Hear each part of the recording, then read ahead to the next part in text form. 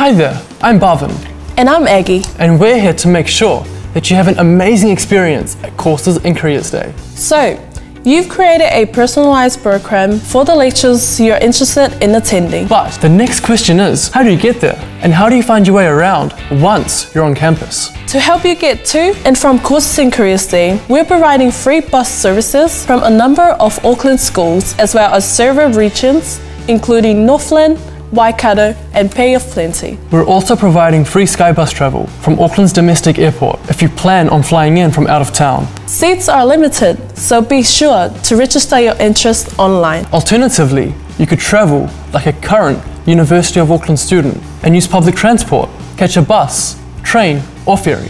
Or carpool and park in the ONG Glen building for a flat rate of $6 for the entire day.